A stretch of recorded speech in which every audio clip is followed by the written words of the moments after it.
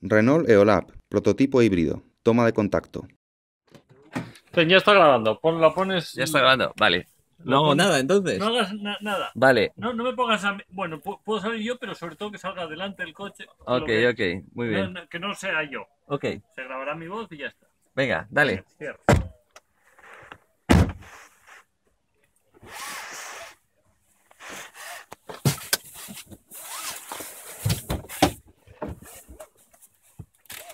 Hecho. Anglais, s'il vous plaît. I'll follow the, follow the car. Yeah? So we just have to, I'll try to direct you a bit. Okay. But just drive the one, how you like to drive and we, we follow you. Well, But we'll be in front. don't worry. I'll, I'll, I'll take care of you and I'll show you in the, in the mirror. Yes. So, if you are, are you going in front or in the back? To see you, we go in the front.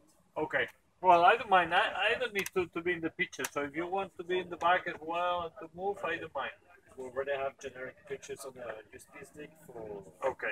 Perfect. and then uh, again, I'm Okay. taking some of my shots as well. So Okay. try to get you in the shot. Okay. Thank you. So be smiling.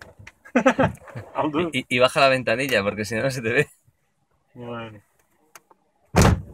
Ups. Algo he hecho mal. I think it's okay. Is it, is it okay? O Okay. sea, ya lo has roto, ¿no? Joder. Ya lo he roto antes de empezar. Bueno, aquí tenemos los espejos, que son dos pantallitas. Hay una cámara que la veo por fuera. Esto es un Renault Eolab, es un prototipo. Es un prototipo en el que Renault está poniendo elementos que va a utilizar en toda su gama en los próximos ocho años, hasta 2020-2022. Lleva diferentes, es un motor híbrido, es un coche híbrido y va a desarrollar, por ejemplo, el techo es de magnesio, hay cosas, las cámaras son cámaras, los retrovisores son cámaras de vídeo. Hay muchas cosas diferentes que va a utilizar en los próximos años en toda su gama, al menos ese es su planteamiento. Por ejemplo, yo no tengo caja de cambios, no sé qué tengo que hacer, aquí tengo el freno de mano. Bueno, ahora me indicarán cómo salgo de aquí, aquí pone N, supongo que lo tengo que poner en D. You just have to put your foot on brake, Yeah, I am doing that. put drive, Perfect. and, then it's okay. Ok. Eh, tiene, es un sistema de caja de cambios complicado. Lleva dos relaciones unidas al motor eléctrico y una relación solo para el motor térmico y no lleva embrague, con lo cual no puede arrancar nunca con motor térmico porque se calaría. Entonces arrancamos en cualquiera de las nueve posibilidades, porque hay nueve combinaciones que no nos han detallado, hay nueve combinaciones diferentes. Siempre tiene que arrancar en motor eléctrico porque no hay embrague. Suelto el freno, acelero y nos vamos. Va a haber un- una cámara alrededor nuestro que nos hará fotos. So that's really easy. There's no restriction. You can drive it as a normal car. Ok. Just be careful in in certain turning because it's slippy. Ok. Es lo que te he dicho, que ha Sí. llovido y tal. Sí, y hay hojas.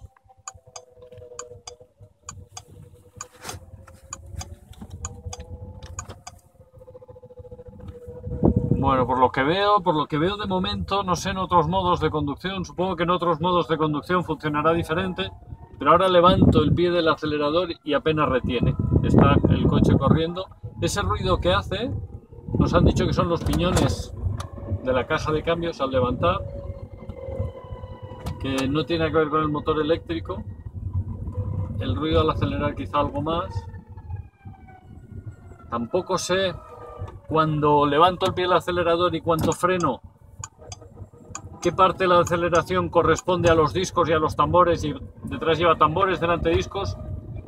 No sé qué parte corresponde al freno mecánico y qué parte corresponde al motor eléctrico.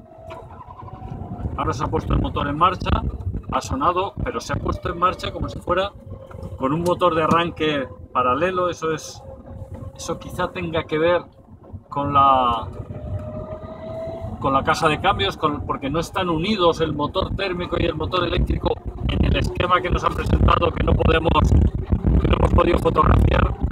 No están unidos, entonces para ponerse en marcha el motor de arranque, eh, de arranque el motor térmico ha sonado un motor de arranque, Eso no sé si será así en la versión definitiva o no.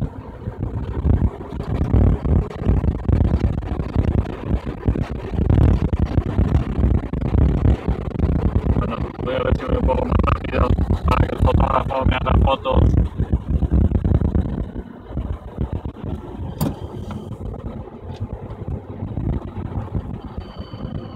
No tiene ningún indicador. Aquí hay un indicador en la pantalla central que, que Está va marcando. que llevas la ventanilla abierta y estás haciendo mal, mala aerodinámica. Ah, y me dice. Ah, ok. Y me dice, con la ventanilla bajada, me dice que la aerodinámica está mal, pero si la subo, tiene que mejorar. Algo, algo pasa. Y bueno, tiene unas trampillas también delante y detrás Mira, ya para, mejorado, ya mejorado. para, para cambiar la aerodinámica.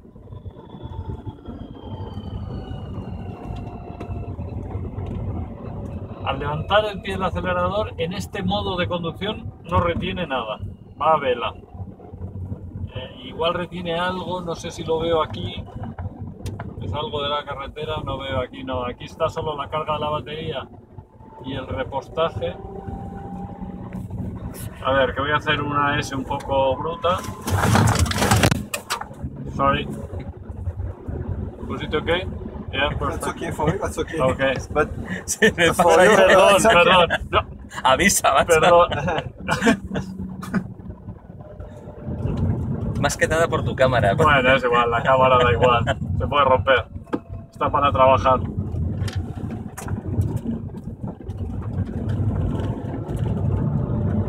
Bueno, aquí hay unos reflejos en... ¿no ves Ahora es cuando tendrías que adelantar y bajar la ventanilla para que se te vea bien. Ah, es igual. Yo no quiero que se me vea. Ya se me oye en el vídeo. Me ha dicho el hombre que sonría y yo sonrío. Además, además sale por, la, por el frontal, o sea que por el parabrisas. Look at me, I'm smiling.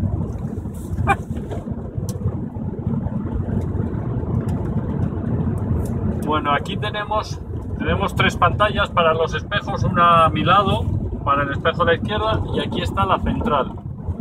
Eh, en las pantallas de los lados son de mejor calidad que esta central, se ve mucho mejor por aquí que por aquí. Be careful, frenamos. Should I follow him? yeah, Okay. oh yeah, we, we finished. yeah, that's finished. Yeah, yeah. Al podio, al podio. Bueno, pues nada, esto era el vídeo. Ahora he frenado demasiado sin, sin pretenderlo. O sea que, bueno, ahora otra vez el tacto del pedal del freno es eh, variable. Eh, ahora he frenado seguro porque iba muy despacio con los frenos mecánicos y en otras ocasiones probablemente frenaba con el motor eléctrico. No estoy seguro, pero me da la impresión por el cambio de tacto. Bueno, pues nada, muchas gracias. Muchas Hecho. gracias, Carlos.